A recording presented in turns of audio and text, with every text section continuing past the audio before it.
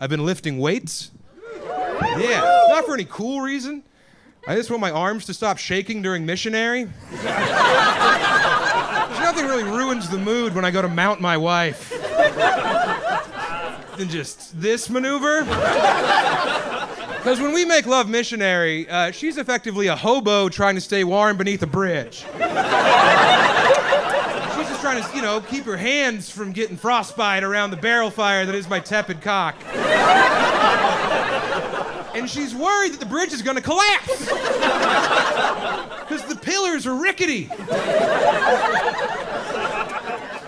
It's got to be a nightmare for her during missionary. I don't know, ladies, why you still doing that? That's an antiquated way. Doggy style. Now everyone can watch SVU.